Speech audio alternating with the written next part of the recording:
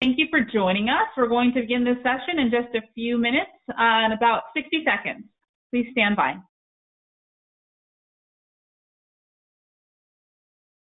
Wow, Rico.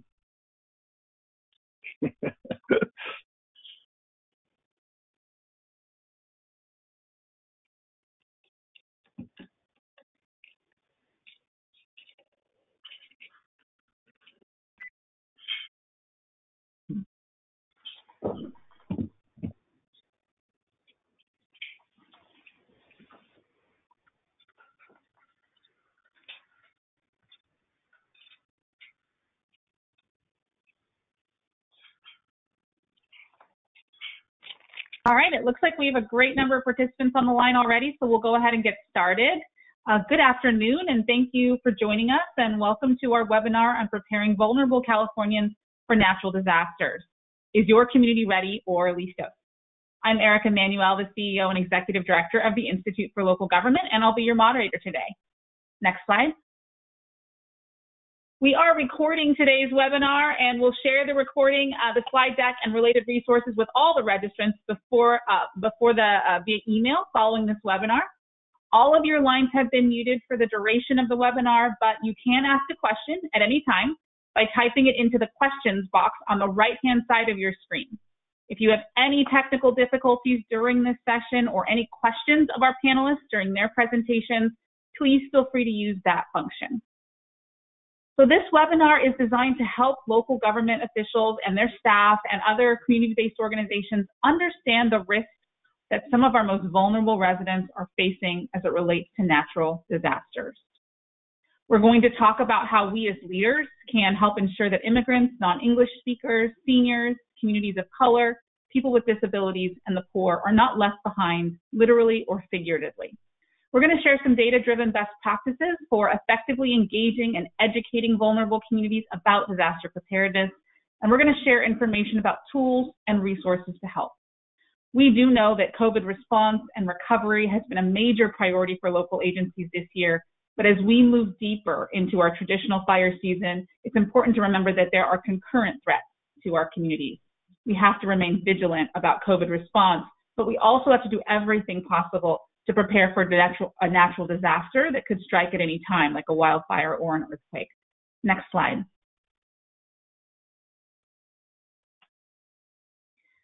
So this is the agenda for today's discussion. Uh, I want to give you an overview of the technology and logistics and then drive right into the content. I'll start with a short overview of ILG for those of you who are not familiar with our organization, and then we'll have presentations from our main panelists before jumping into the Q&A. Our four panelists should be visible at the top of your screens, and I'll introduce them more formally in just a few minutes. We have Karen Baker and Justin Knighten with the LISTOS campaign. If you guys want to wave, excellent. They're the co-chairs of the LISTOS California campaign, and they're going to provide an overview of that important campaign being run out of the Office of Emergency Services. And then to provide a local perspective, we have County Supervisor Tom Wheeler from Madera County. Tom, wave to us. Hello and Rico Peralta with United Way of Madera and Fresno. Hey, Rico. So we structured this webinar to allow plenty of time for questions, so there will be a Q&A at the end and contact info for everybody that's on this panel. Next slide. So let's talk a little bit about how this webinar will work. Even though we have been sheltering in place for about four months now, every technology solution is a little bit different, and we uh, want to make sure we clarify the technical details with all of you. So for today, as I mentioned, all participants will be on mute during the entire presentation. If you have any questions during the webinar, please type those questions into the question box at any time during the webinar.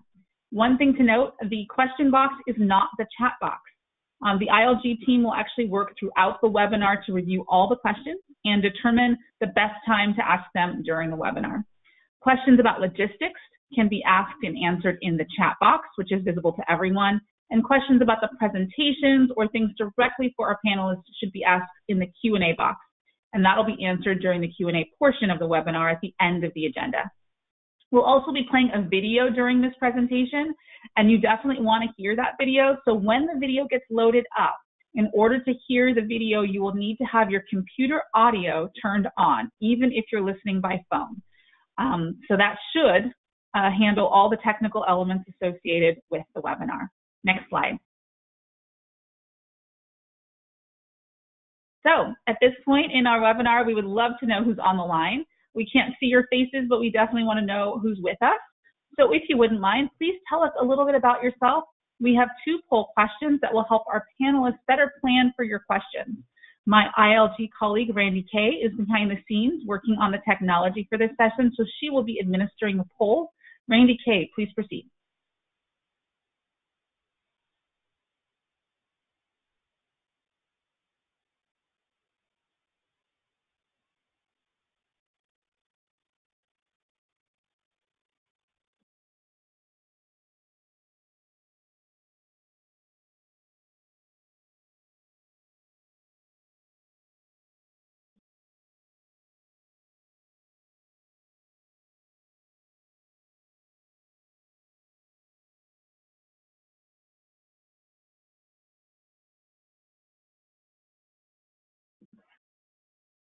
Great. And here we go. We've got lots of people from the city, 38% city representatives, uh, 9% county, 10% special district, and 20% state agency or department, and 23% private, corporate, or nonprofit. Well, welcome. We're happy to have you. There is one more question we've got, and uh, we'll get that result as well.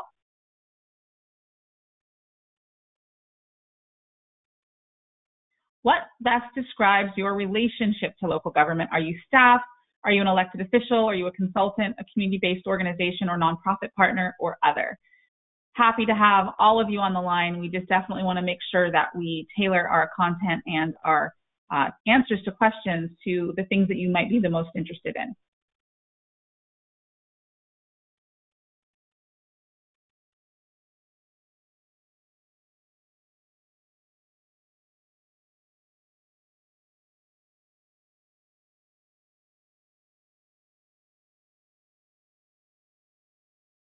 Excellent. We've got a lot of staff and elected officials and consultants. This is fantastic. 53% staff, 17% community-based organizations, um, consultants and elected officials are also, and then an other bucket, which is a catch-all for everything. We love that. Um, it's really great to see so many staff members from local agencies on the line. We do know that staff does a lot of the heavy lifting as it relates to these efforts, and this is super important that you've joined us today. So thank you so much. All right, next slide. Before we dive into the presenter introductions, I want to tell you just a little bit about the Institute for Local Government. As I mentioned during my intro, my name is Erica Manuel. I am the CEO and Executive Director of ILG. I've been at the helm for about 18 months, and you know, just like you, we are navigating COVID. We're in the middle of you know a really difficult uh, crisis to hit local government, probably the biggest one in 100 years. But the good news for you, if you're a local agency, is that ILG is nonpartisan. We're nonprofit, and we are here to help. We are the nonprofit training and education affiliate of three statewide associations representing local governments, CSAC, the League of California Cities, and the California Special Districts Association. Together with our three affiliates, we serve over 2,500 local agencies that include cities, counties, and special districts. And we love it when they collaborate together to make uh, effective use of local government. We provide practical and easy to use resources so local agency leaders can really implement policies on the ground and do it well and we love and understand government and local government. And that's why everything we do really centers around helping local leaders navigate the complexity of their roles. And that's one of the reasons why we're so excited about this webinar today. There are few things that are more complex than emergency management in the face of natural disasters. Next slide.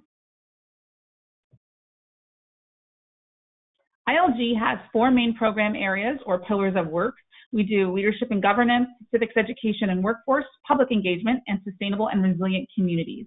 And our mission is, again, to help local government leaders navigate complexity, increase capacity, and build trust in their communities. And campaigns like Listos are definitely complementary to that effort. Um, we provide at ILG a range of services across all of our pillars. We do education and training like this webinar, but we also offer deep technical assistance and capacity building to help stretch your ability to deliver on programs and services. We also convene key stakeholders and provide facilitation services around sticky or challenging topics when it's really helpful to have a neutral party in the room to kind of understand how local government works. Next slide. On this slide, we're just outlining a number of resources you can find on our webpage related to our pillars and this session in particular. In our leadership and governance pillars, we have information ranging from effective boards and councils, decision making, and others, and ethics, for example. Uh, in our public engagement section on the website, you can learn about the basics of public engagement, find out about our TIERS public engagement framework, and learn about language access tools and support. And you're going to hear about engaging with vulnerable populations. That's a huge part of this, and certainly language uh, access and translation are sometimes important elements to have in your plan and in your toolbox. And in our sustainable and resilient communities section, you can learn about how to integrate equity and resilience into your mitigation and climate programs. And a lot of times disasters tied very closely to this. So some things you can look at on our website when you have the time. Next slide. We also have a COVID page, um, definitely to help make sure local leaders have the resources they need to navigate the crisis. It's updated regularly. Please feel free to check that out. And the next slide, please. Uh, shameless plug for our next free webinar. It's Monday, August 17th, and we have partnered with SoCal Gas to bring in world-renowned natural disaster expert, Dr. Lucy Jones, to show us how science and effective planning can help us better understand our risk to earthquakes, wildfires, and mudslides, and how to address them at the local level, particularly in light of the pandemic. In this free webinar, you're going to learn about tools to assess, mitigate, prepare for the disruption of a major disaster, as well as some very specific solutions related to building resilience around energy infrastructure. So we're finalizing the details this week. Registration will open soon, and we hope you will join us.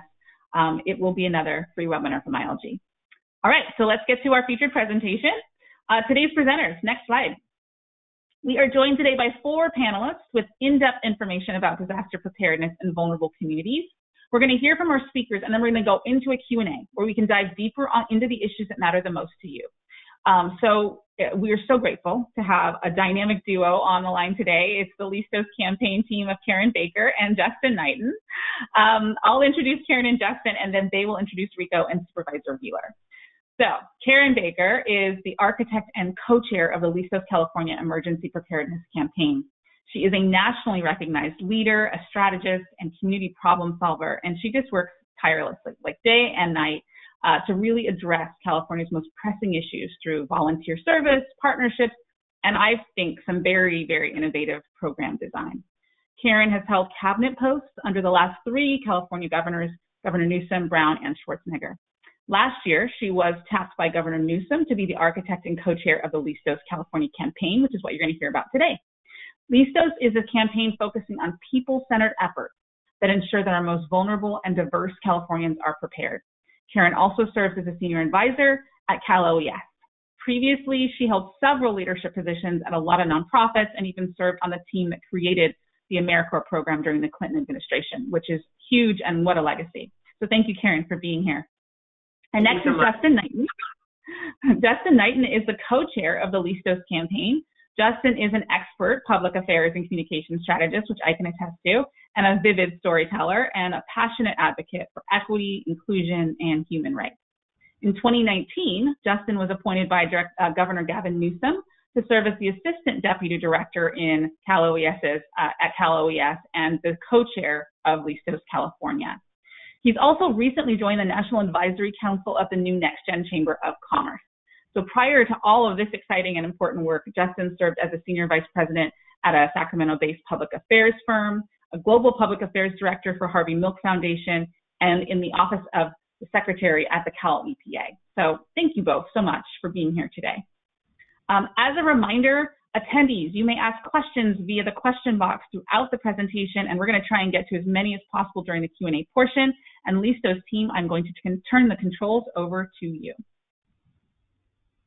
Well, first of all, thank you so much to ILG and to all of you who have been able to join us today. It, it, matters very much to us that you're on the line and that we can take some time to hopefully uh, share with you this campaign and how we'd like you all to be a part of it. Um, I'll go ahead and go to the first slide here. Um, this starts with, um, you know, our governor. This was both he and the legislature working together in with a trailer bill, AB 72 that was really going to be um, important because they wanted to be able to invest in ensuring that vulnerable communities would be really prepared in times of disaster. And at the time, the focus was natural disasters. It's since it included COVID. But um, you see here his quote that it's going to be a people-centered approach. That was really critical to the whole architecture of this of this campaign.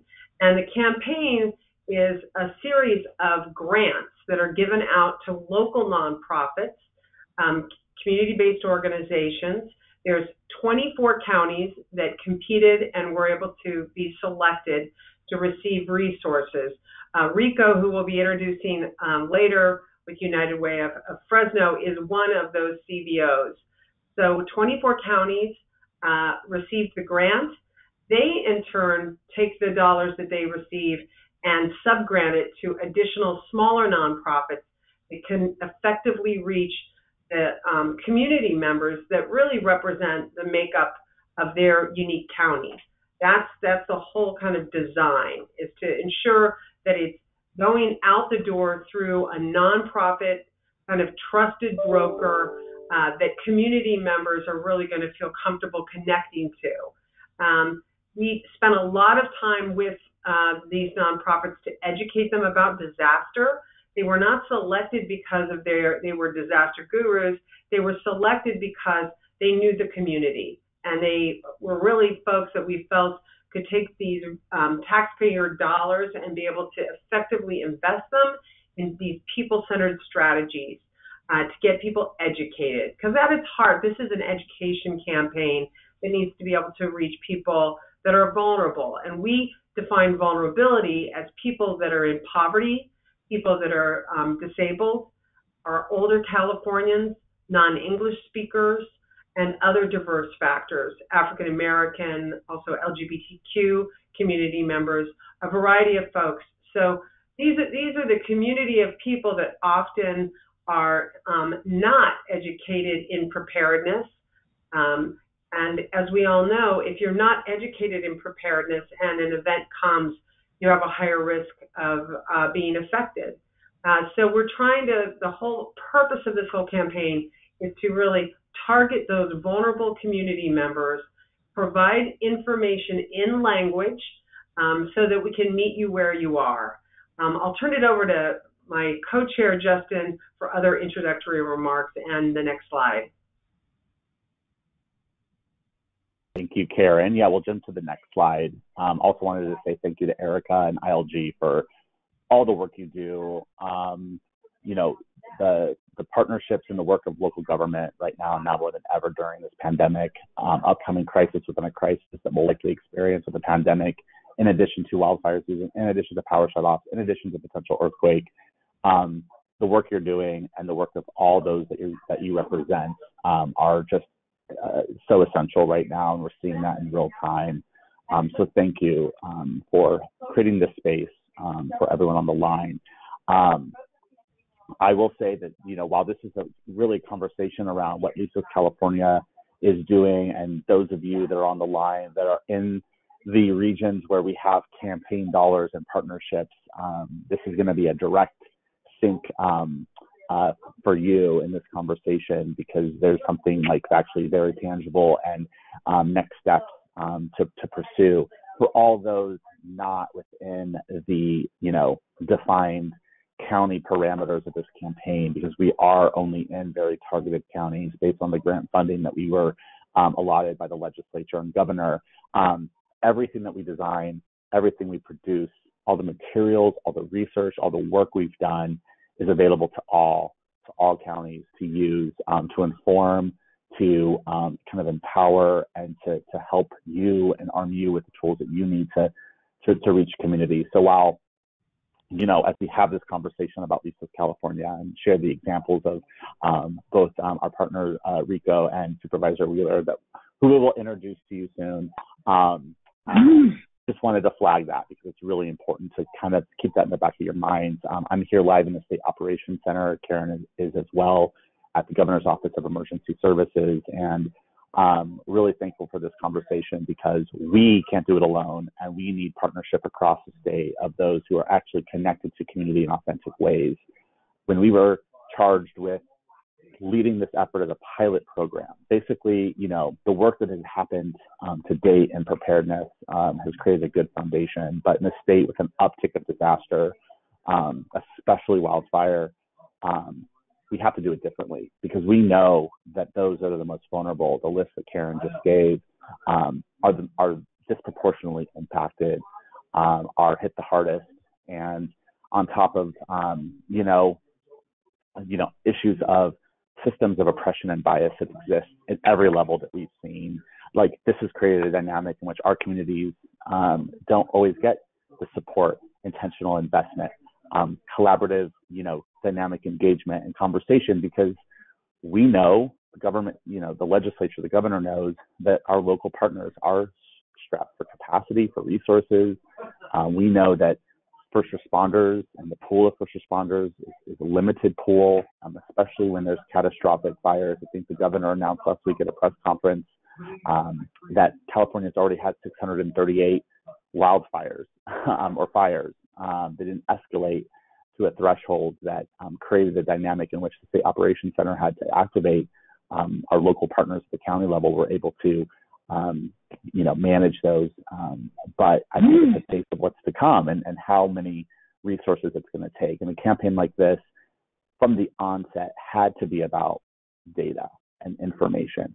And that's the first thing we did. We knew, based on the architecture of this campaign that Karen Baker um, designed, of giving local community the power and the, and the directive to determine how best to work with their community, how best to build authentic relationships, leverage the credibility and the work that they've already have been doing and have done for decades um, to, to, to be that trusted uh, messenger um, at a time when there's a lot of question and doubt. Um, they become a partner, right? Local partners like United Way become a partner in doing that work um, to, to reach community. And um, and, and having a dynamic in which that flexibility was possible, we had to have the data and, mm. and, the, and the facts.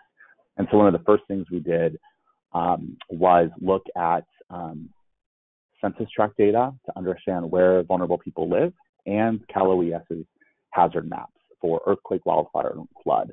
We worked with a professor at Sacramento State University to merge those two maps together for the very first time.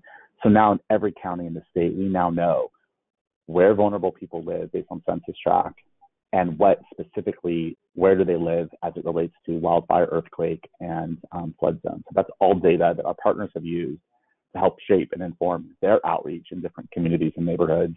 We're using it at a statewide level to determine things like media buys um, both for broadcast you know billboards digital um, and other outreach strategies of where we have to build new partners, um, we have that data. And that data is all available to you all um, and your colleagues to understand where you may be able to put more attention and outreach um, to reach the communities that are going to be the most impacted if one of these crises hit, especially during a pandemic.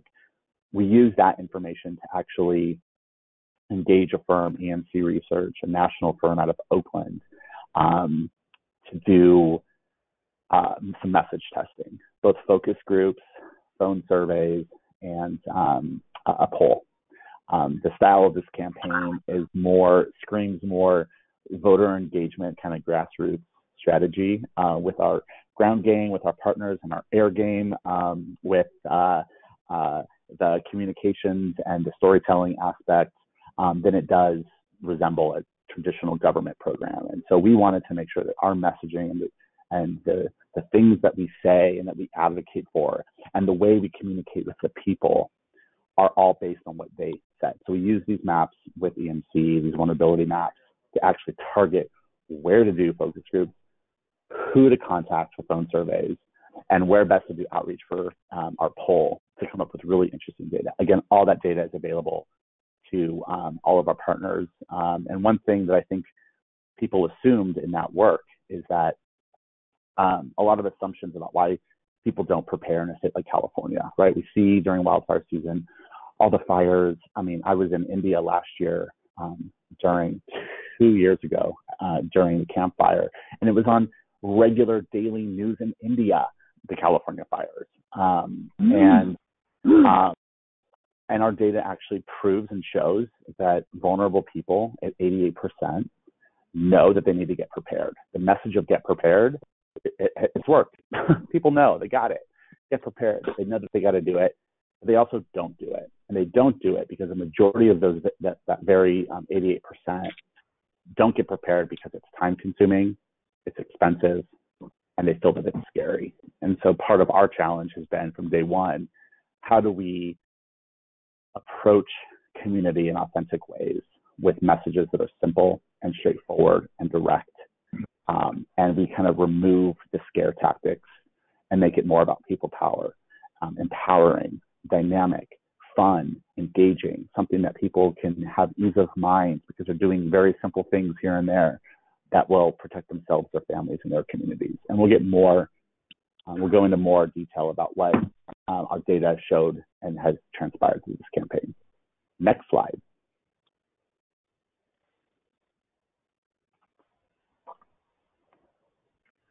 Um, so a, a, couple of other things that we wanted you to know about kind of what informed our campaign and continues to inform it is that we have a 25 member plus advisory team that really is comprised of all the, the diversity of California.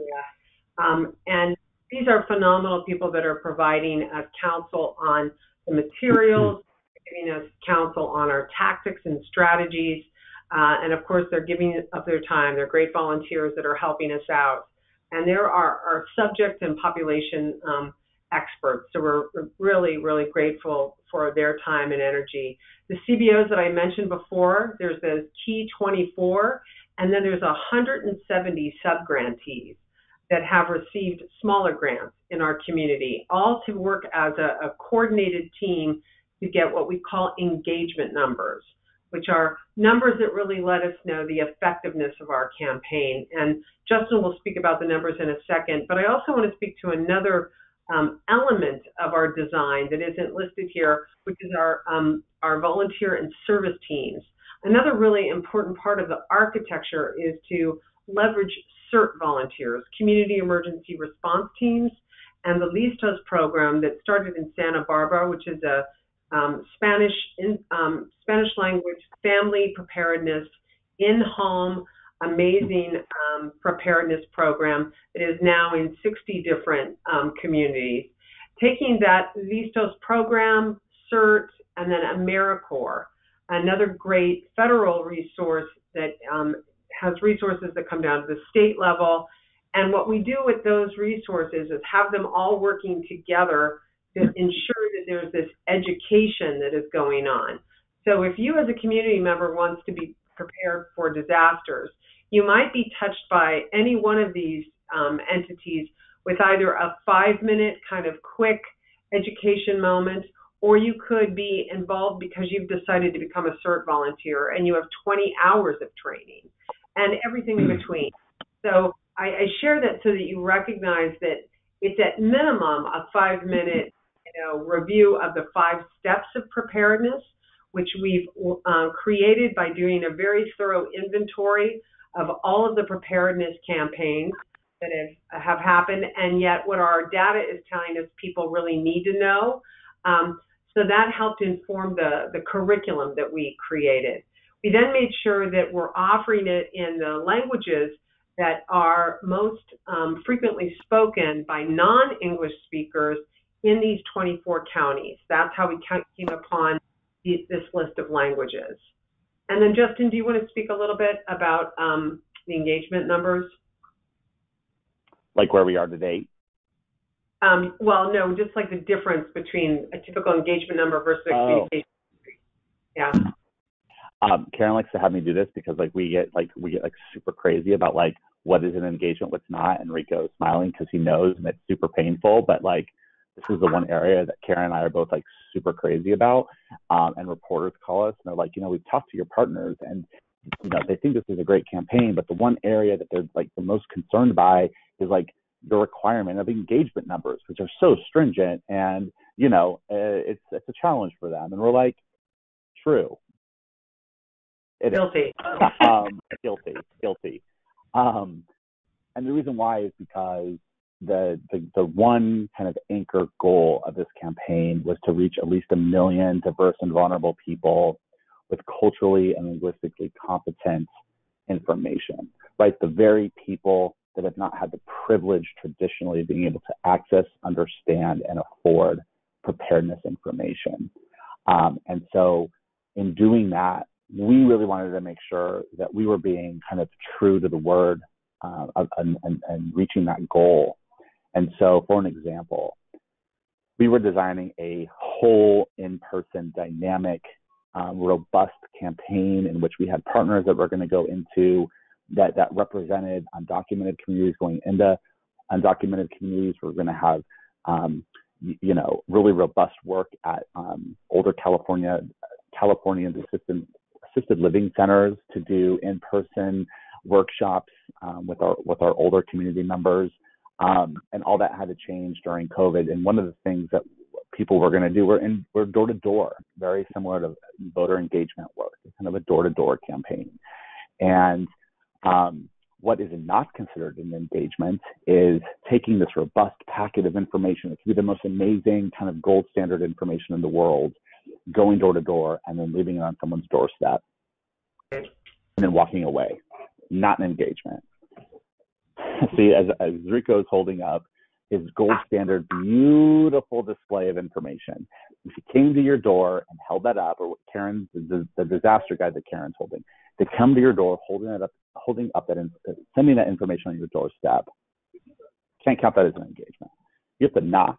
Someone has to open the door. You have to have a conversation, at least five minutes. We talk about our five steps, which we'll get to in the next slide, um, and be able to count that person.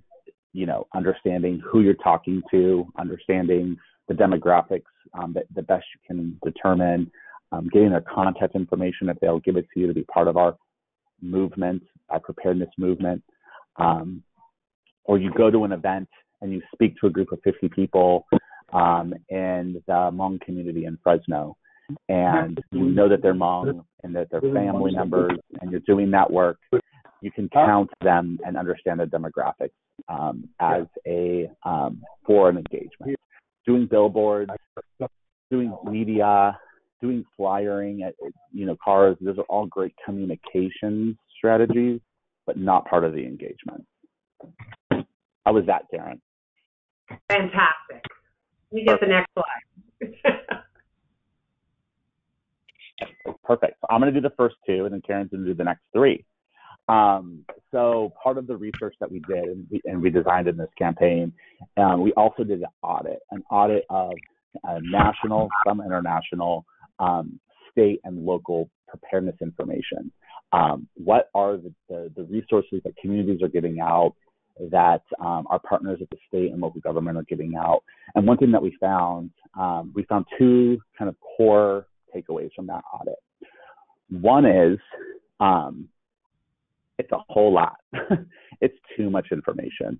Um, my favorite example is home hardening. I'm sure many of you know what home hardening is if you if you care about this topic of preparedness. And homeowners, I'm sure, care a lot about home hardening.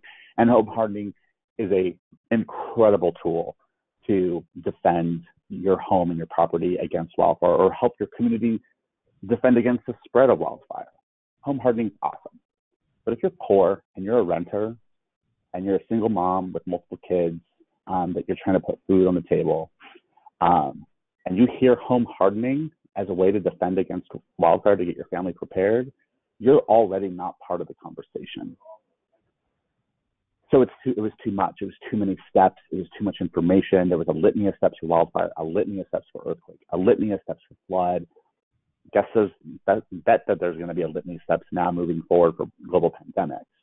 Um, it's a lot. The other thing we found is that most of the information provided was fragmented. A fact sheet here, information resources over here, um, you know, a PowerPoint here. And one thing that we really wanted to do is design something that was that could be delivered in a five-minute um, elevator pitch with resources to back it up, but also for organizations, both our partners, everyone on the line who is local government or organizations that aren't part of Listos California. We've designed for the first time. Um, we're calling it like the, the preparedness disruptor. Um, a full curriculum with PowerPoint, with train the trainer, with all the resources and information. We hired a team of people who have expertise in behavioral um, science um, to, to help us advance behavioral change. So it's more about community and behavior shifts than it is about doing all the technical things that everyone wants to make sure that you're checking the box for disaster preparedness. Um, because we are trying to advance a culture of preparedness. We know people aren't prepared the way that they need to be prepared. Let's simplify it. Let's get all these resources in the hands of the public and make it all accessible and simplify the steps. If we can get more people to take these five steps, um, we'll be better able to advance that culture of preparedness so that that same mom who's a renter, who's hustling to survive, feels more empowered to do things that are tangible and doesn't doesn't um, automatically get shut out because they hear things and they're told things that don't apply to them and they'll never be able to take advantage of. So our first step is get alerts so you know what to do. CalAlerts.org is the infrastructure that Cal OES built um, several years ago, um, where it's a landing spot. If you go to that website and click on sign up, it's an overview of every county in the state and a link to every county's um, alert. Everyone on the line that's from local government, you know it, you, got the message, but now we want to help elevate that so that people know to go to your county's link to get those alerts on their phone. The second is make a plan to protect yourself and your people. Um, you know, understanding and having a, a, a, consensus on where to go if you have to evacuate. Um, just thinking about those things very simply and tangibly so you all kind of agreed upon like one or two locations of, as meeting destinations just in case you guys get split up. Also a contact list, writing down all um, all the people that you love, their name, their phone number, maybe their address. Uh, oftentimes in a disaster and just in this new world we're living in, you can lose con- uh, connectivity to your phone and not know how to contact them, not have their um, um, information. None of us are remembering phone numbers anymore. Maybe your home phone number and your mom's phone number. That's about it. Um, so writing down these things on a piece of paper and making sure that everyone on your list know that you put them on their list and encourage them to come up with a list and put you on their list. Karen Baker, number three. Pack that go bag. Now, um, we all know, you've heard the term probably go bag. It's basically, think about, you know, a formerly used backpack that your kid may have outgrown or a sack, much like what Justin is holding up, um, which is the slick, slicker version. But any really any bag will do, and it's just making sure that you have pre-packed some pretty key elements of this.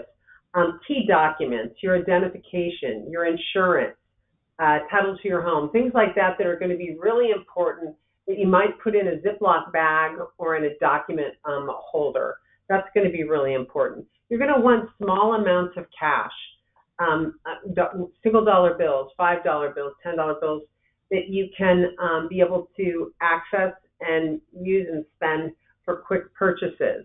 Um, you're going to need a map, a printed map of your area that identifies your exit strategy for your community and your family. So much of it, so many of us have become so helpful to um, our phones, and if we lose broadband connectivity, um, a lot of people in the kind of frantic state of a disaster forget about different ways of exiting their own community. What are what are different ways that I can get out of here if this street is blocked?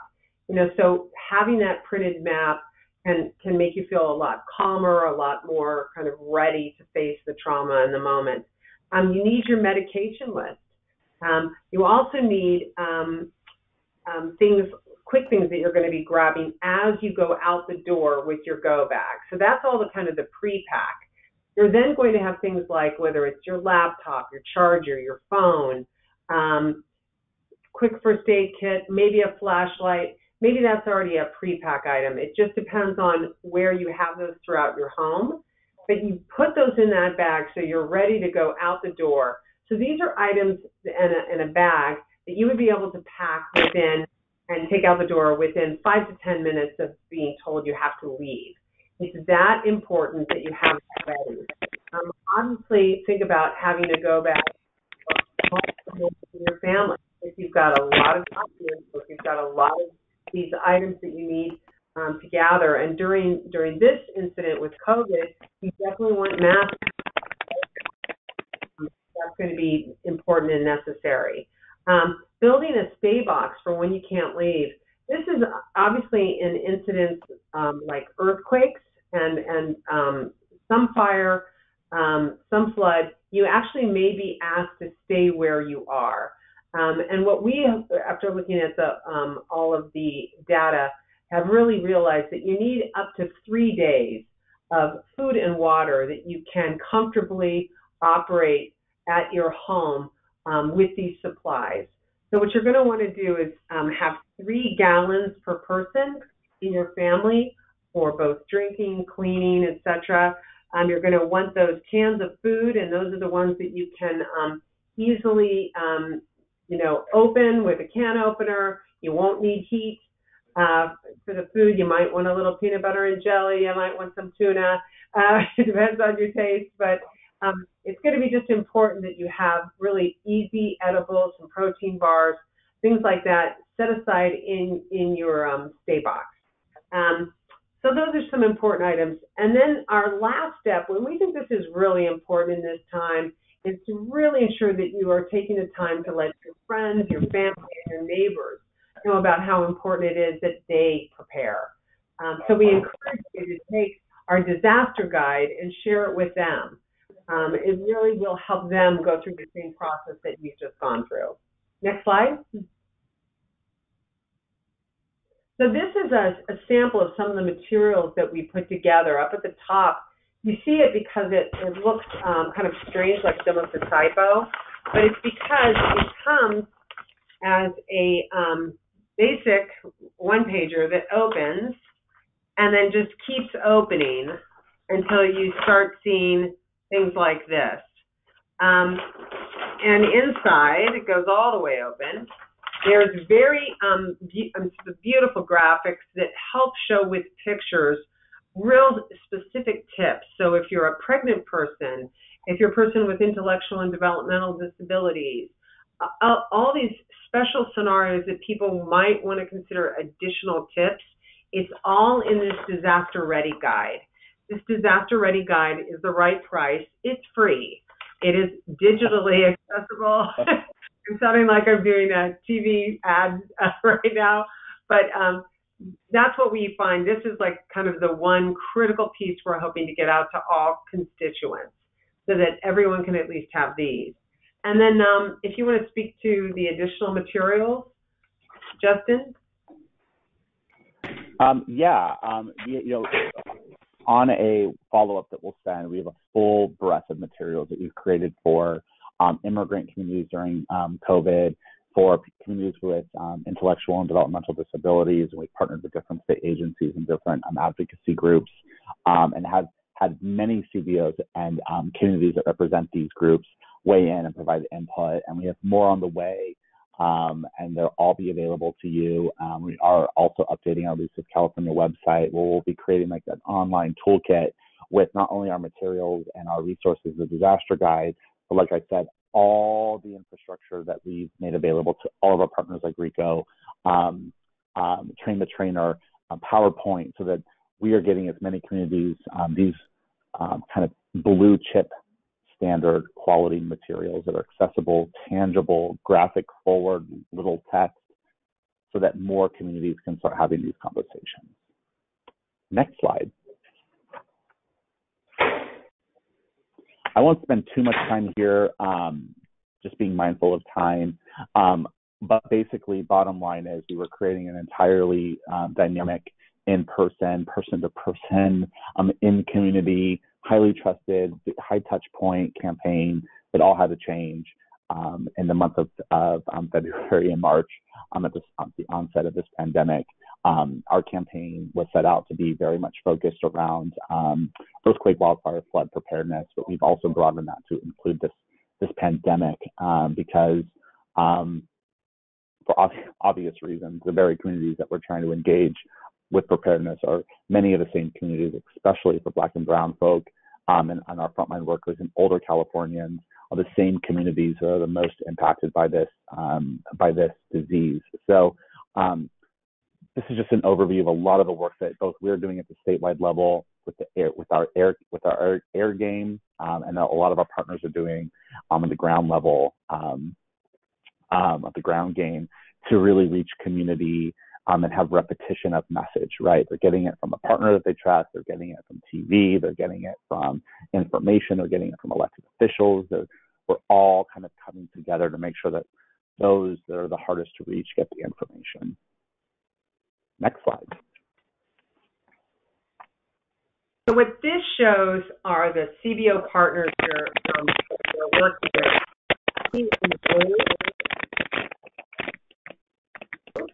That noise, Justin, is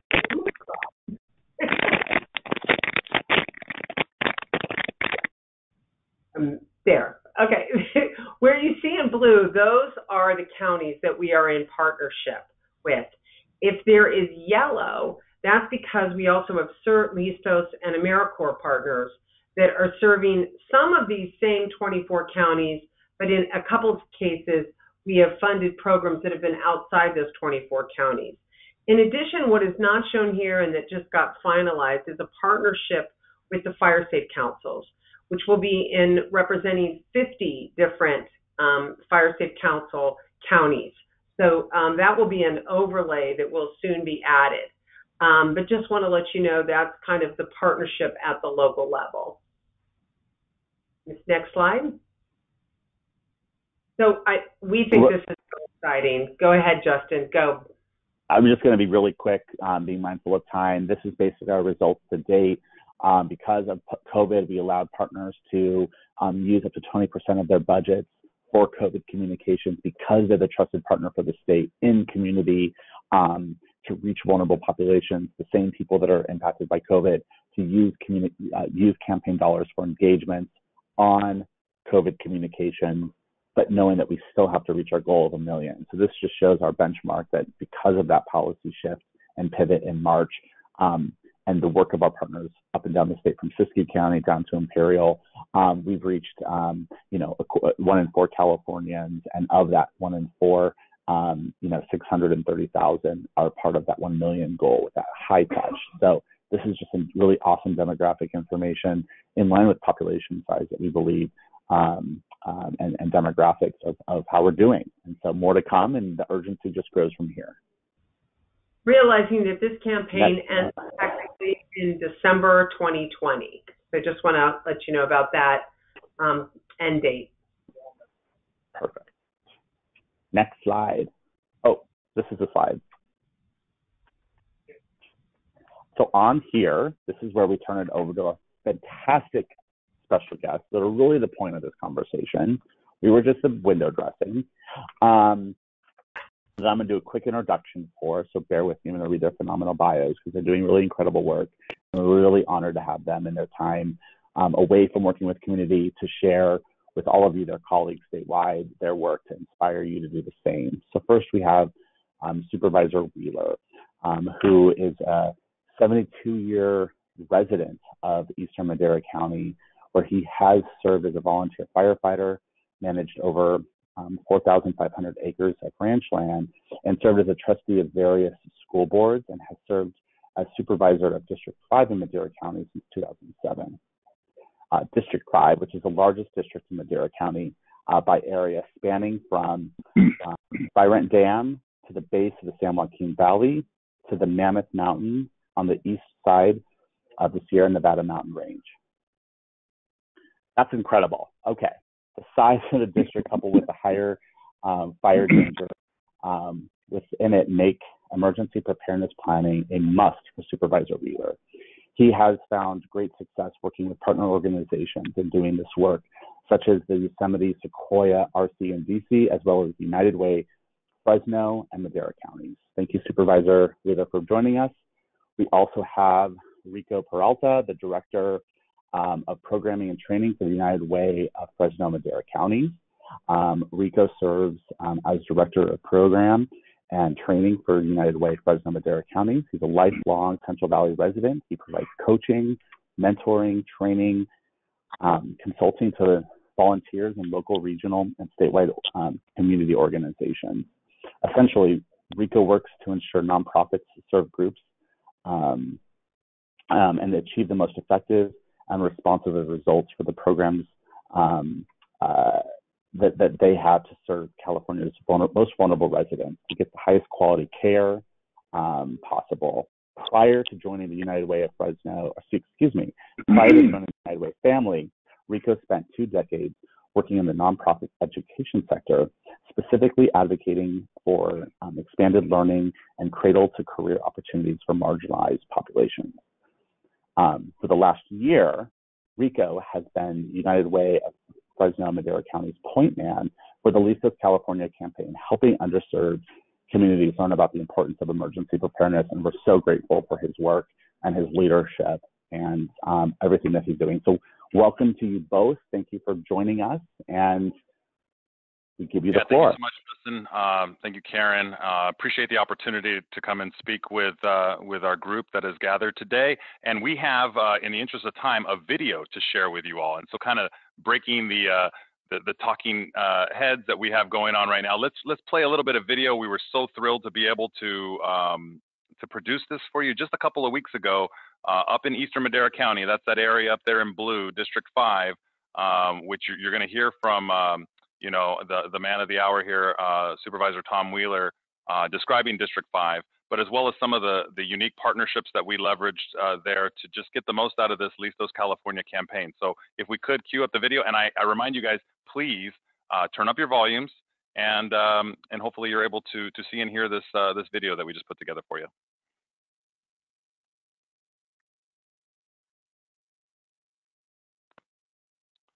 We are working through the technical pieces of that, and, and we'll get going here. What I preloaded it.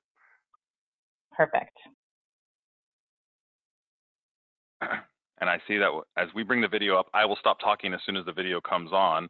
Um, as I said, um, you know, appreciate uh, the opportunity to be a part of the Listos California campaign. As your United Way Fresno and Madera County partner, we are two of the 24 counties that that Karen and Justin uh, alluded to. We're the CBO that was responsible for deploying the, the Listos California campaign in our two counties.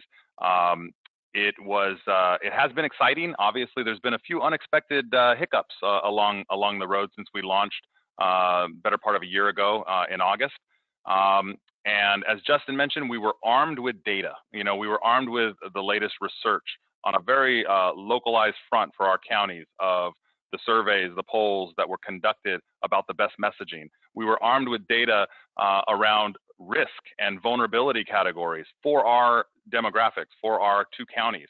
And we, we were put in a position where we can make really, really informed decisions to be very deliberate and intentional about how we target uh, vulnerable residents.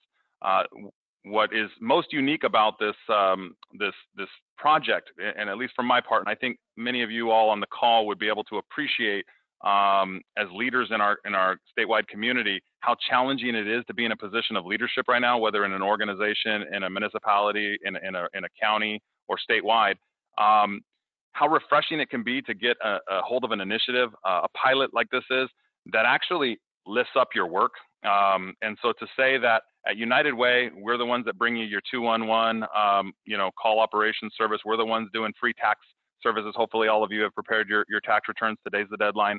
Uh, we provide all of these services on a systemic level for vulnerable residents in our communities. But what's what's cool about Listos, at least you know for my part, was that we were able to amplify so many of the messages of, of our cross section of, of um, services and programs with this emergency preparedness message. So um, in a day and age when everything's so divisive and politicized, you can't politicize emergency preparedness, you know.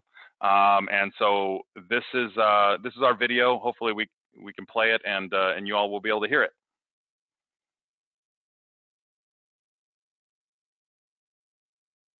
Okay, so that's still um, here we go. All right, so that's um, that's perhaps the video that's playing, but we're not getting any audio right now. Um, you know, of course, um, uh, just as I mentioned, the hiccups that can come along the way in our in our campaign. There's always going to be hiccups when you're operating in a virtual reality that is uh, COVID-19 and uh, and uh, social distancing and sheltering in place. Let's go ahead and stop it there. Um, we have uh, shared with you uh, for your benefit the link to this video. This video is available on YouTube. Um, it is it is public. As I said, it's it's it's it's fresh off the the the the editing block and uh, and we'd love for you to, to, to have an opportunity to view it. Uh, we really do feel like it captures the essence of the work that we did up there in Eastern Madera County. Um, but but going back to, to what I was saying, and, and again, in the interest of time, we only have you here until 3:30, and our hope was that we could maybe help you reclaim a little bit of your time this afternoon. We'll just go ahead and, and kind of boogie right through some of the talking points here, uh, and then at your leisure, watch the video. Um, so I just want to say uh, on behalf of United Way that uh, when I say that we lifted up our work, um, it was by braiding the messaging of emergency preparedness into each of our programs and services. I mentioned taxes. When folks were, were coming in and having their taxes done in person in Madera County and Fresno County, uh, they were greeted with, uh, you know, a waiting and reception area that was playing messaging about emergency prep, and we were distributing uh, those those goodie bags, those takeaways uh, which we were also then se seamlessly plugging census as well, events that were happening, free internet, things like this.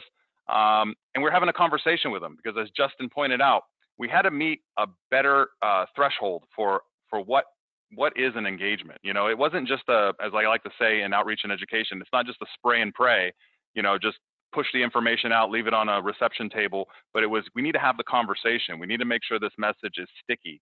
So the minimum was that five minutes. So with these folks that were in tax appointments, they were waiting an excessively long time. Uh, they're waiting for uh, their their tax appointment to be called. They have all their documentation. They've got their they got their 10 uh, 1099s. They got their W2s. They got their identification. So we made sure it's like, hey, what are you going to do with all that information? So let's make sure we give them a bag. Let's talk about document protection. Let's talk about uh, financial stability and these types of things in the context of taxes. It's emergency prep.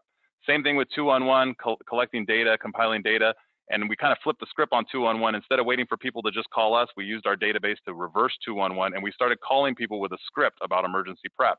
These are things we had to do when we had to pivot out of uh, pandemic, pivot in COVID-19. And, and I just must say um, that there were challenges, of course, that we can all point to of trying to implement a campaign during a pandemic, but there were also some very real uh, benefits on the ground for us.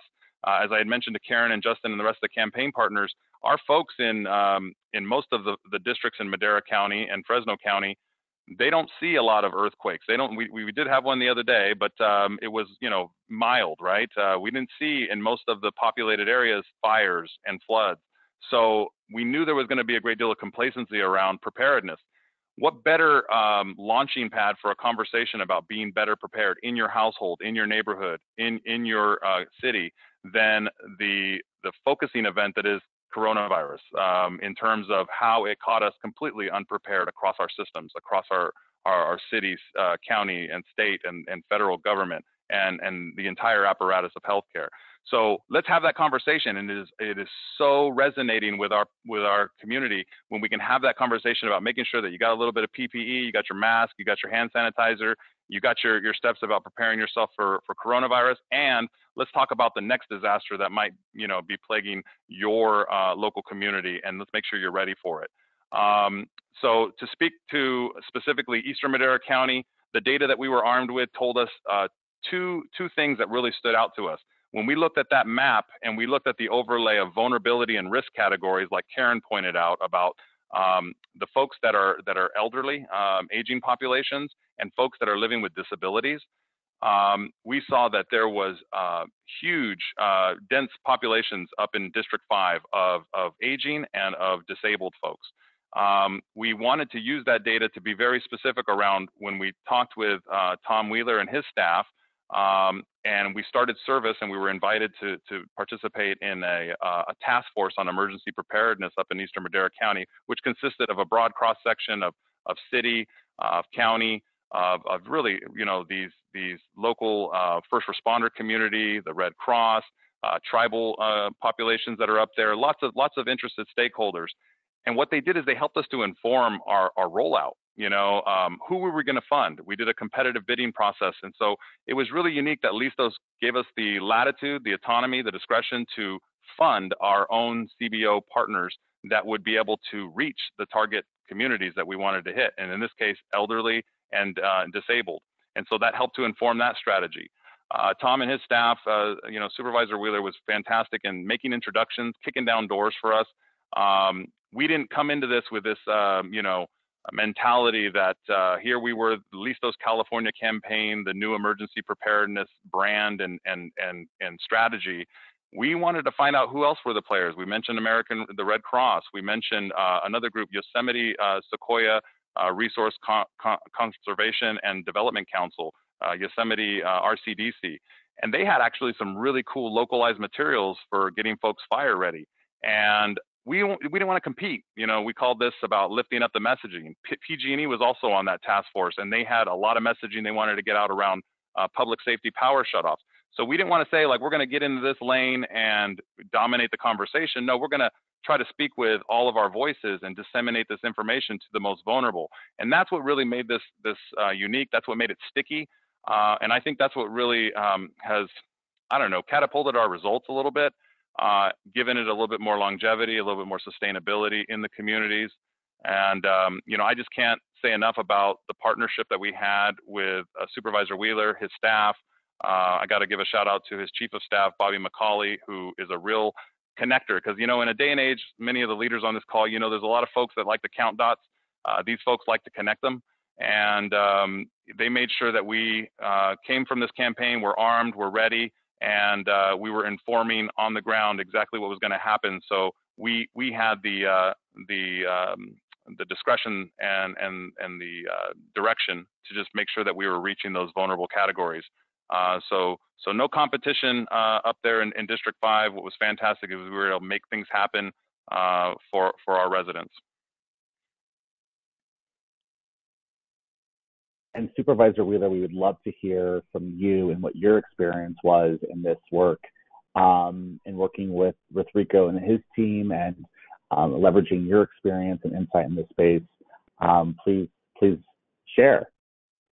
And, but I don't know where to start with all the guys, all the stuff you, uh, you, all three of you have put out there, four of you, I guess, with Erica too and her start of it. You know, partnerships is the most important thing you can do. And living up here all my life, I moved up here in uh, 1958, so 62 years, not 72 years, but uh, when I was in high school, and uh, I got elected to the school board when I was 28 years old because I had a handicapped daughter, and they wouldn't want to, they didn't want to take care of her, so I got elected and I changed some of that.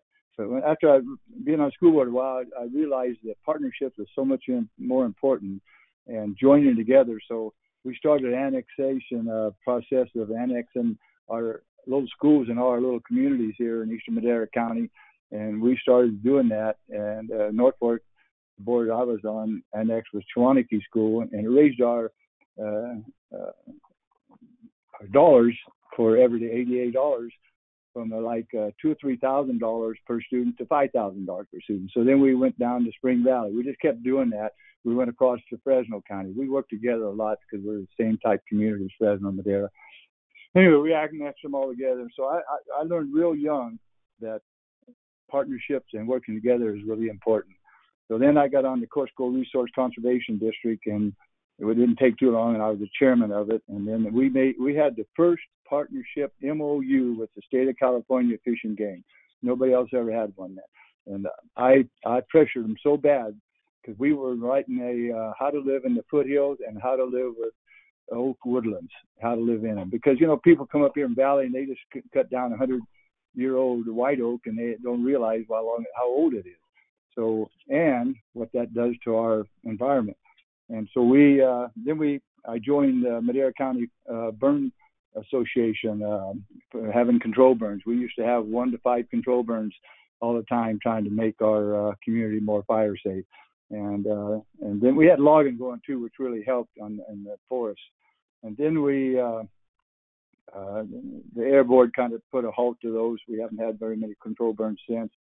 But uh, then we started uh, uh, trying to get some of these dollars to fuel, uh, make our harden our communities fuel breaks and stuff. So Madera County alone, well, I was the chairman and part of the, uh, the Resource Conservation District. We did some with Fresno too, with the Sierra Coarsegold Sierra uh, Conservation District. We did over uh, 30 miles of fuel breaks around our communities up here, and over 33,000 acres of fuel break. I mean, a fuel reduction, and uh, that kind of got me really going. And then we, then we, like I said, we we uh, wrote, got a grant and wrote uh, uh, uh, pamphlets on how to live in the foothills and how to live with uh, two of them. The other one was uh, uh, how to live in oak woodlands. And I don't know if any of you know Rick Standiford, uh, University of California. He's a guru of oak trees in in California, and uh, and so we we did all that stuff, and then because we knew we had to harden our communities, and then when the uh, uh, uh, environmentalists stopped all of our logging, it really got bad, and then we had our drought, and then it got worse. So we we we we put a emergency preparedness team together, and I don't know if you can see that, but that's that's all everybody on it. We meet once a month, and uh, we're doing it viral now, zooming, and uh, but it has everybody, government agencies, county, city, everybody that we meet and see how we can uh, design and, and protect our people. Those packets you have, I really want to get those fold out deals because we got some similar but not as nice as that one. So I want to try to get some for us. But we uh, uh, then uh, Madera County, we pushed the sheriff and I got together and we pushed for this uh, reverse 911, one of the first ones in the uh, state to do that. So when we have any kind of uh, flooding, we had we've had that up here in our uh, creeks and rivers up here. Um, and so we have anything in flooding, fires, uh, hazardous materials like a train uh, overturned a few years ago, and uh, all it had hazardous materials floating out. So we can draw a line on a map on GPS, and then they can reverse 911 everybody that's in that area. And more counties are doing that now. But we were one of the first ones in the state to do it. And then we come up with uh, 311.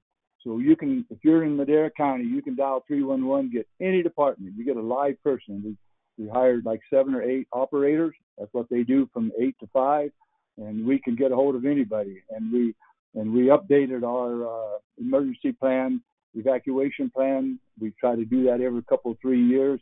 I really push to get that evacuation plan inside of our phone books up here, but uh, the sheriffs don't like that because say they got an area, say a school that would be a, one of the areas that could be evacuation uh, center.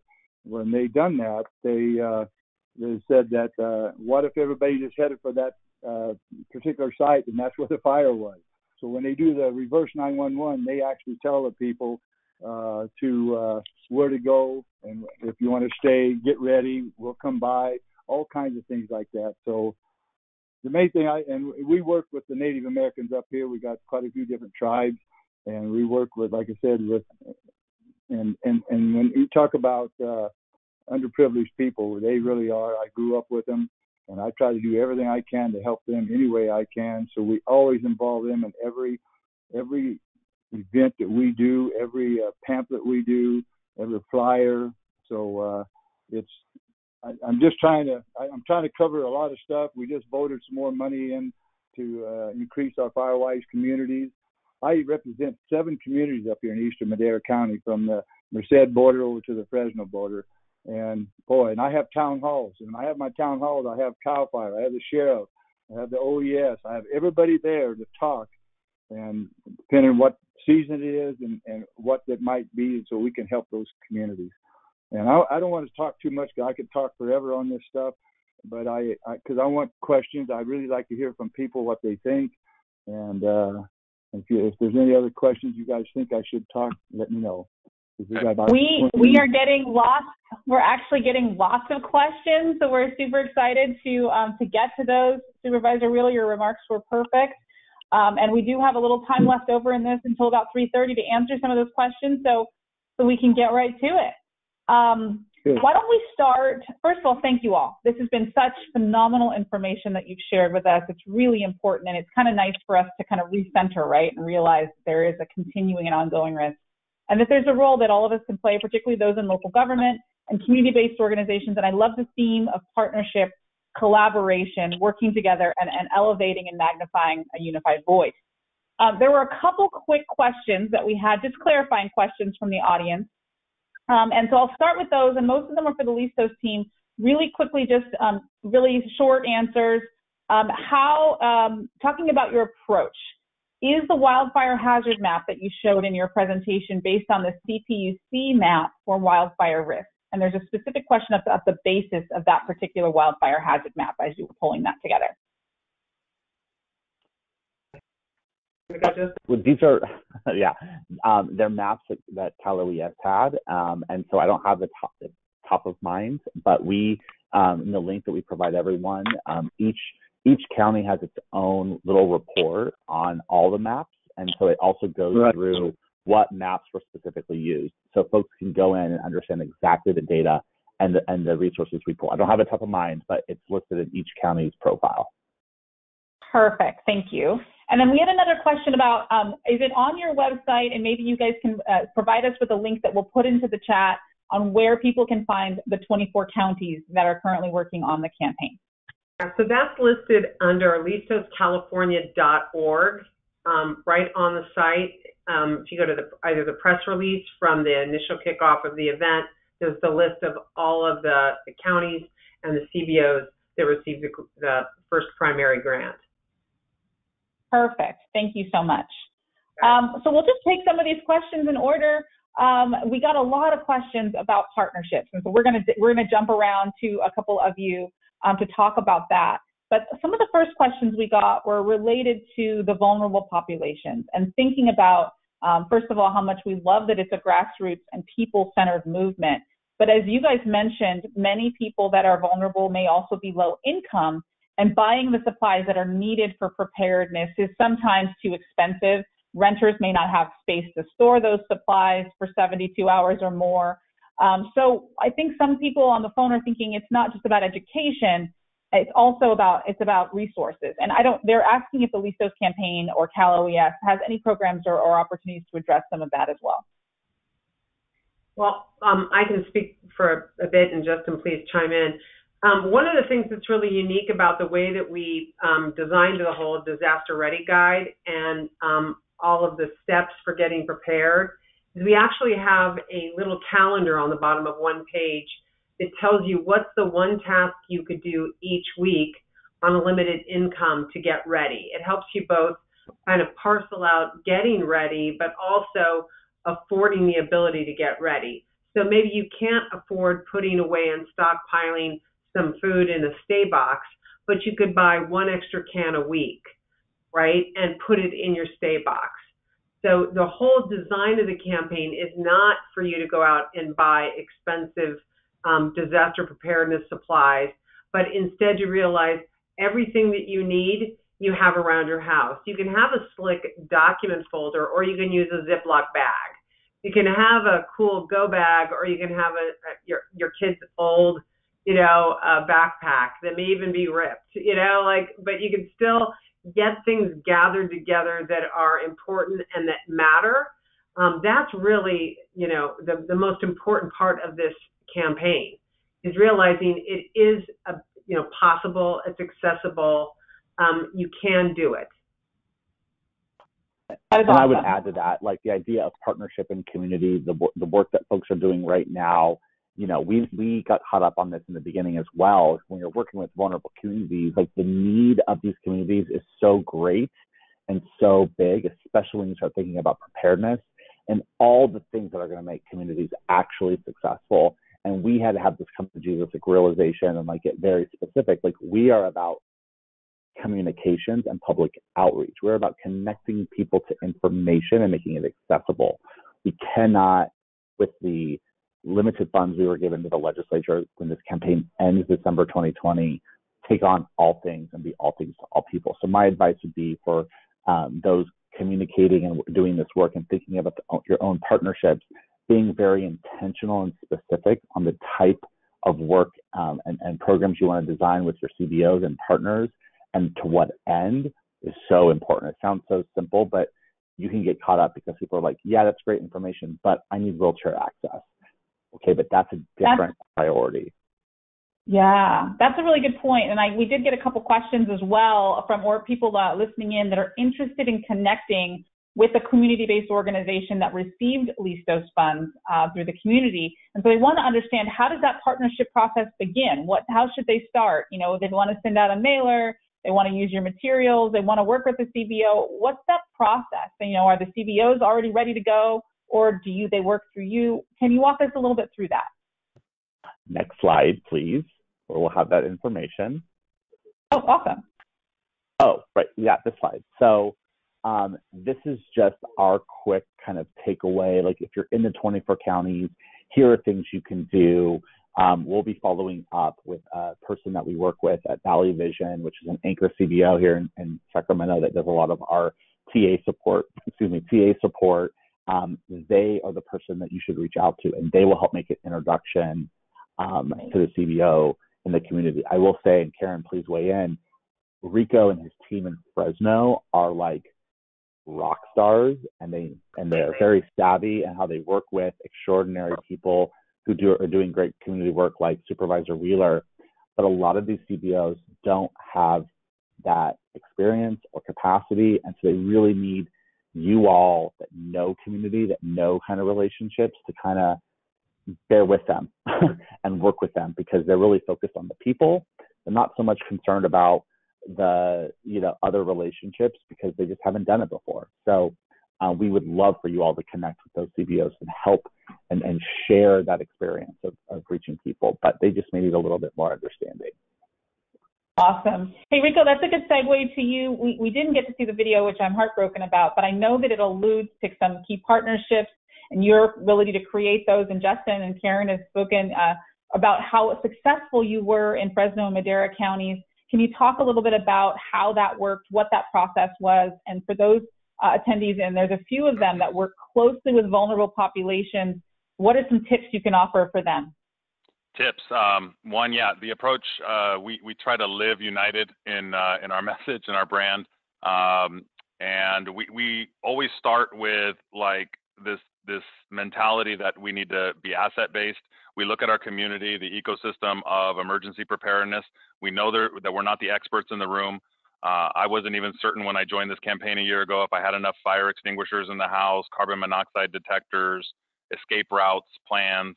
Um, I was a bit of a hoarder already. Uh, this this uh, campaign only made that worse because, like Karen said, you can have a lot of stuff in your house for free to pack your stay stay kit and your your go bag. Um, but but you know looking at looking at who who are the players already on the field and so uh, Justin gave great tips about reach out to Valley Vision they're they're the liaison they're the conduit for the 24 counties that are funded the 24 counties each of them respectively like in ours we already have CBOs in our network that are that are um, that we funded or that have received some other parallel funding um, and resource that um, that could they could bring to bear. Um, CERT is a, is a great example. is very active in many of the counties throughout the 58 counties in the state, not just the 24 that are funded. Um, you know, the Red Cross, um, but as well the the you know the first responder community. Um, we we made sure that we we got trained and oriented uh, from our emergency managers at the county level so that they could kind of connect some dots for us about who were the real, you know, the real sages on this issue, uh, who had the resources they could bring to bear. Like when this when this campaign first launched, we were designing designing our own, you know, collateral and whatnot. So we didn't want to reinvent the wheel. What what do we already have? You know, what's already there. So yeah, just really approach it with uh, with that in mind. Know know the landscape. Uh, and don't think you're doing this alone because there's a lot of people in this space. Uh, we're just really trying to to reach the right people with this message that already exists. That's awesome. Thank you so much. Uh, for Supervisor Wheeler, so there are, as you know, a lot of overlapping jurisdictions in California, and some of them have been mentioned, you know, especially as it relates to emergency preparedness and response. And ILG represents cities, counties, and special districts, and you saw in the attendee list that we've got a mix of those on the line today. Do you have, uh, as an elected official, you know, any other suggestions for local officials, local electeds about how to approach this effort in their role as an elected, right? You're at the county level, so you have some jurisdiction and responsibility on your own right. But how do you recommend working with cities and, and counties and special districts and then also CBOs on all of this? How can you talk a little bit about your role and your recommendation? Yeah, it's it's a big role in Madera County. We got 142 special districts, 120 of them in my district. So uh, uh, I have to work with them all the time, and I've always done that before. So it's so important that you collaborate with everybody that's in it. When Rico got a hold of us and and uh, said, "Hey, we, have been working with United Way before he even come on," and so we, you know, I got him. We're hooked up with my uh, chief of staff, Bobby McCulley. Like he said, he uh, was uh, raised up here up in uh, Eastern Madera County too, so he kind of knew what to reach out and go after, and uh, so what you do, you just start uh, trying to get a hold of everyone you can, and like and have these town halls. I know it's one of the things that have community meetings. I have town halls, and I bring all these people together in there. I even have the sheriff, the highway patrol, OES, like I said, and and anytime there was any monies out there, I am looking for dollars from day one. When we were doing all those fuel breaks, we were getting 60% of every dollar that came in uh, California in Madera County for fuel breaks and and uh, and fuel reduction. So you got to reach out. We hired a, a, a grant writer for uh, Madera County so that we can still keep reaching out. During the recession, we had we had one. We had to get rid of her, and, and she was great. She now works for the um, Sierra Nevada Conservancy. But uh, you've got to keep reaching out, and and and just like I said, we went and uh, just now we funded uh, the Yosemite Sequoia RC&D, which covers four counties: Mariposa, Fresno, Tulare, and Madera. So that gives us feelers out there too. So people are always coming to us. They, like one of our meetings, we we meet in Clovis at the Veterans Hall. We had a guy come up and he said, "Hey, I need our community really needs some help." And so he heard about our meeting, came to it, and we got him funding to do that whole street to get it uh, fuel breaks all the way on both sides. So uh, it's just reaching out, listening, and and try to be involved. You got to be involved. I know a lot of politicians that they just like that name behind their name. That I'm a supervisor, I'm a congressman, and all that shit. You know, I don't believe in that stuff. I got. I'm out there. I want to be with the people and see what they need, what they want, and I'm going to try to get it for them. Yeah, it's a wonderful uh, example of servant leadership. So thank you for that.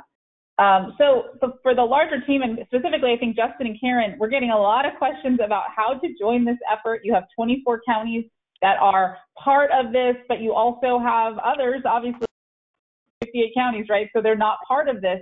Two questions. One is if your county is part of it, how do you connect? And it sounds like you go through Valley Vision. But if your county is not part of it, are there still opportunities to sign up? Is more grant funding coming? We've heard the campaign ends in December you know, what's the what's the process for getting on the on the on the ship? I'll just say one thing and then let Karen say the rest. Um, this September is National Disaster Preparedness Month. It's an annual thing, and Listos California is going really big to try to get to as many communities as we can because there'll likely be a pandemic on top of a wildfire. Um, and so, one thing that we're going to um, ask all of you and all of your colleagues is you all know what it means to take a pledge as an elected leader. You all know what it means to um, sign a coalition letter. And so we're going to circulate um, one of these um, kind of Dear California letters. We adopt the Listos California Five Steps and agree that moving forward every September to host a preparedness event of some kind. Um, it doesn't have to be a lot of expense. It could be um, a town hall. It could be a conversation roundtable. It could be a, a social media Zoom but we want to start to advance this culture, right, of preparedness. And so we want to ask all of you to sign on to this letter. Our goal is to have a hundred elected officials and or um, government logos, local government logos on this, so that we can announce that together in September and have you all push it out and show your leadership for signing on to do something proactive at a time of such uncertainty. But Karen, please, um, you know, give more on that is while you know it's I think it's smart to go through Valley Vision. If you have the name of your local CBO, wait until tomorrow when we're going to talk to them about this. But but at that time, I would just go ahead and contact them. Let them understand that you're either if you're in their in one of the 24 counties, you either want to work with them to get them their materials out to your constituents, right, and to people that you know that you work with so that could be either digitally, it could be in printed format, in, in mailings that you do. Um, you might want to work with them on, you know, in, ensuring that they invest with you on, on phone banking. We have this wonderful effort called social bridging, which are phone calls that are made both to um, seniors for wellness calls as well as disaster preparedness calls. And that's across all 50 counties, 58 counties. If anyone wants that service, we just go right to the emergency manager and say, do you want us to call everyone in your county and let them know how they can be ready for a disaster? And if they say yes, we go ahead and use voter registration logs and ca- start calling everybody in the county. So, I mean, there's things like that that you can be a part of with this campaign, you know, and and basically work with us to to talk to your emergency manager to ensure that you get the social bridging project going in your county. Um, the, the materials, because they're digitally, you can you can send them out to all of your lists. You know, you can host um, Facebook Live or Zoom trainings. We've got, um, and we'll get these to you, trainings that are already um, produced. It can be a five minute, a 15 minute, a one hour, all kinds of different lengths that you can be, you know, provide a welcome um, remarks to, and then you know, just run um, the footage. You know, so there's there's so many ways to do this. Um, we just so look forward to working with all of you in any way that you feel most comfortable. Fantastic. Thank you so much. I do want to do a quick time check. We have about three more minutes before we're slated to end. We do have a few more questions that we have not gotten to. What I will commit to the people on the, the phone is that we have a number of questions we received, and we're going to do our darndest to get those answers to either live or after this via email since many of you provided your contact information. So thank you for that. Um, and maybe we'll just take one more question and uh, it may take us a little over time, but maybe in a minute, can you share a quick example for the, anyone on this on this panel about how you engaged a vulnerable community like the deaf or like the hard of hearing, disabled, and homeless? Those are all very unique and incredibly vulnerable populations. Any recommendations there? Well, I can talk to you about the homeless because right now we're creating a brand new piece for the homeless uh, community, uh, people that have experienced homelessness.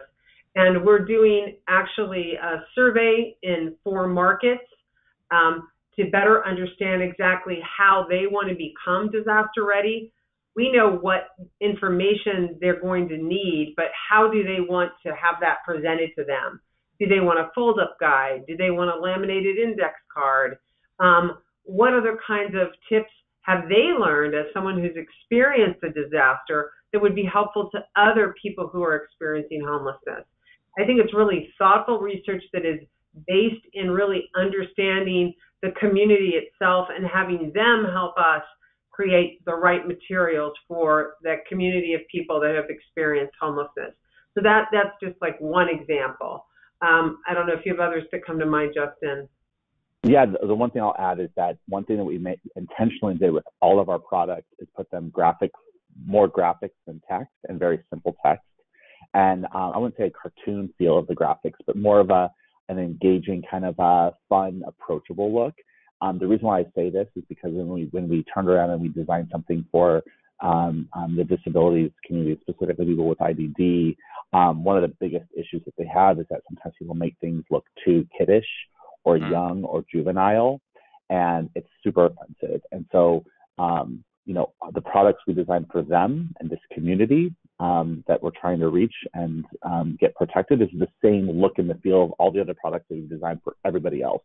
And the way that we've gotten the resources out the door, because it can be very overwhelming, especially if you're a local government, of how you get this information out the door, is who are the groups in your community with the credibility and the trust and the access to the community. Build a partnership with them to get that information out. It's what our local partners are doing through their subgrantees or just partnerships that they're building um, without um, funds connected to it. People are so hungry for information and getting accurate, trusted information from people that they trust. That is perfect. Thank you. Um, okay, so we are out of time. Yeah. Well, I was just going to say, I, I don't think a lot of the people don't care if we go over a little bit uh, that community is really important to us. And we work with self help. I'm uh, on the regional management uh, water group here in Madera County, and we got a, a, a one of our groups is the DAC communities and foothills and the valley, and we reach out to them. We actually go out to all those communities, and whether it's for water is the main thing right now in that group, but we also do the same thing with with uh, emergency stuff and everything like that too. So if you get them involved, that's the main thing. And if you get self help, uh, group. They're out of Fresno, and Madera. We just like the United Way. We all work together on that, and we involve all the DAC and the com- uh, homeless community. We go out to them, and uh, I think that's what we got to do. We got to remember to do that because they don't they don't have the uh, stuff to, to get this on on social media and TV and all that. So we reach out and go get them, and that's what we that's what we really think is we strive for. So I think everybody's got to do that. That is fantastic. Thank you for that.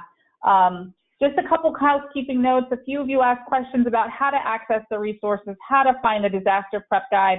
You know, a number of the things that we talked about today that we showed on the slides, we're going to push out to you as a registrant today to make sure you have access to it, especially if you're an elected official. We want to make this as easy as possible. And you can, as you can see, the LISTOS team has done everything they can to make this a very turnkey and effective. Um, so what I want to make sure we do in this wrap up is make sure you have contact info for everybody on the screen and on the panel. Um, and I want to really thank you um, all. Uh, can we go to the next slide, uh, Randy Kay? What we hope to accomplish today, and hopefully what you did, is really understanding uh, the specific tactics that local, local elected leaders can employ uh, to make sure your constituents are informed. And there are so many staff members on the phone. You have a huge, heavy list of helping communicate this, and we do appreciate it. If you want to stay connected with ILG, our contact information is here. We can direct you to any of the disaster resources we've talked about, or go to the next slide. We can also make sure that you are connected uh, to our panelists. Our recording will be available very, very soon. We will email out a link to that so you can look at it online. And for those of you that weren't able to listen in person, the recording will be available on our website and you'll get that linked in your inboxes as well. We plan to make sure that you have all the resources you need to really navigate this issue. And I want to thank the LISTOS team, uh, Supervisor Wheeler, and Rico with United Way that's doing such phenomenal work in Fresno and Madera counties. Um, the work you're doing is important and your model is important and you're really setting an example and we would love to work with you on this even further to make sure that additional communities can participate in this and can really take advantage of all the hard work you've done. So this concludes our webinar and I want to thank you all for being here.